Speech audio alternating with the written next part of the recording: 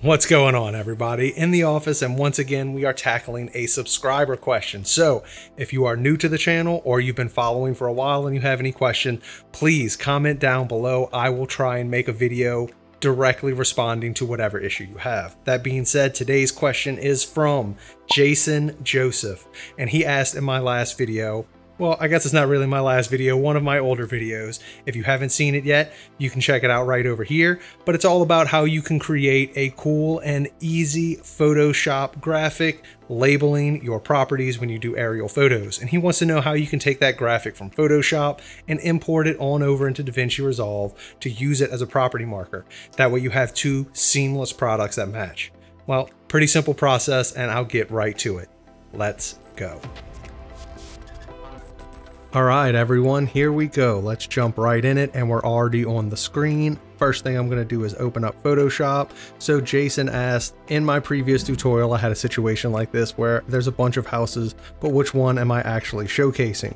So I showed you how to make this label exactly, except this is the actual address that we're talking about today. So if you haven't seen that video, once again, go check it out and I'll teach you exactly how to build this. But I'm going to teach you how to take this built out call out label and transfer it into DaVinci Resolve. So the first thing you'll want to do is highlight all of the correct things. So I've got the text, I've got the box, I've got the box copy, so that's the white around the box. Then I have the actual arrow. Those are the things I have selected, right? I'm gonna go up here and I'm gonna select new, and it doesn't really matter what you pick here as long as it's a large size. So I'm just gonna pick this one because it's the closest one, and we're gonna come over here. Now that we have the new one, we can grab these and simply click on it, see how everything moves around.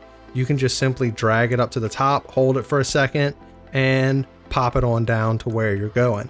Now you have this in a whole new entity. What you're going to want to do to use this in DaVinci Resolve is deselect everything, grab this background layer that's automatically selected or created whenever you make a new item, unlock it so that way you have the ability to delete it. Now you have no background in just this. Next step to do is file and I always export and export as PNG. The PNG is important because it's what gives you the clear background so that way you don't have to worry about using a darken or blend mode or anything like that. Then you could simply type in whatever the address is and I save it to my desktop just to make it very easy. Save, there we go. We have now created this PNG on our desktop. So here it is on the desktop.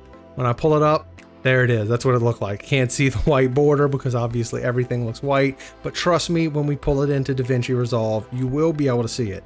So there are multiple ways to get things into DaVinci Resolve and into your timeline, but the easiest way for something like this is to simply grab it.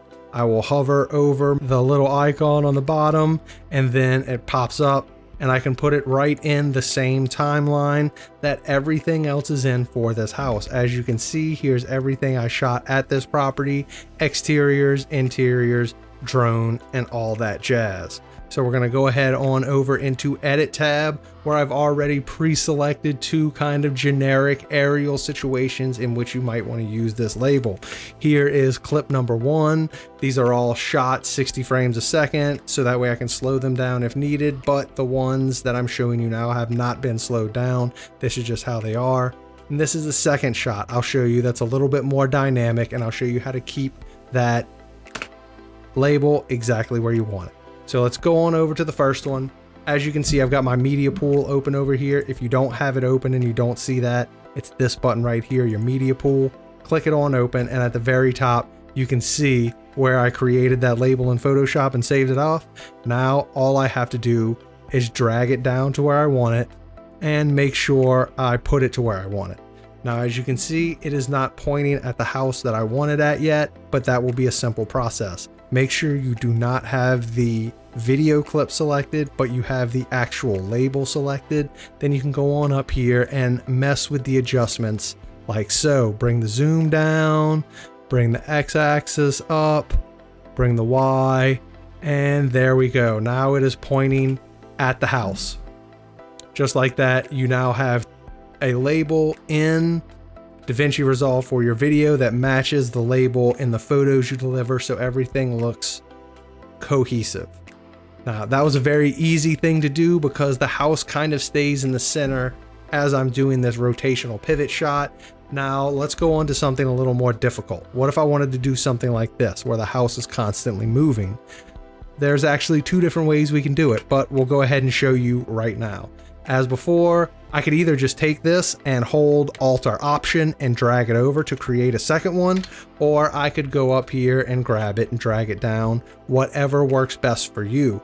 Now, if you Alt drag this one over, it will have the same look that we applied to the first one, so it will be the same size. If you drag down a new one, it goes big straight in the center. Those are the two differences in the way of doing them. I want to start from scratch or fresh, so I will just drag a new one down. I will go to the front of my timeline clip and I will adjust everything accordingly. Just as before, zoom down a little bit, X position, Y position. This is where the house is, right? There we go. We'll bring it, let's make the label a little bit smaller. There we go. So now we have the two labels. Now the problem is, since this is such a motion clip, as you can see, the label stays still and the house keeps moving. So how do we fix these two situations, right? How do we make them look cohesive as though the label is there in real life?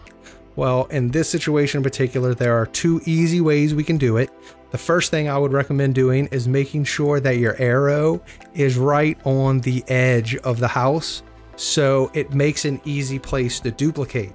From here, we're going to start using some of our keyframes. That's what these little triangle or diamonds over here on the side are. These are all of your keyframes, right? So the very first thing you want to do, once again, make sure you're at the very beginning of your clip. Everything is where you want it to be. You're going to start a keyframe for all of these. It makes it easier. You could just use the zoom and position. I use all of them because in more complex shots, you may need to rotate or pitch or yaw to make it look like it's in the correct place.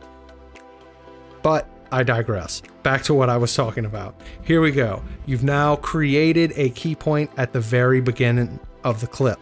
Now what you can do is scrub to the end of the clip, like so, then readjust the position of everything so that way it's in basically the same spot just like that. And since the house got a little larger, I'll actually increase this just a little bit. Oh, look at that. I need to readjust my ColorMunki settings. This is a good time to remind you if your monitor is not color calibrated, make sure you do that. It makes everything much simpler and your final products much better.